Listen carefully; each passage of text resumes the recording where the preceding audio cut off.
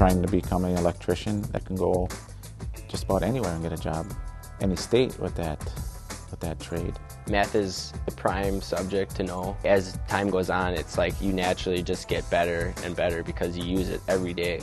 The one-year program is awesome. They teach you a lot of stuff. Had basic electronics, blueprint reading, residential and commercial wiring. Wire up outlets and switches and lights. And we had OSHA class where you learn about uh, safety on construction sites. One of the hard things that took a, a, while to learn is bending pipe. You know, making an offset too much or a 90 too much or making your 90 too short. And it's the little tricks of the trade that takes a while.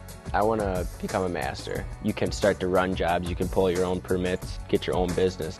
Ultimately, I would like to own my own business, and this is just starting.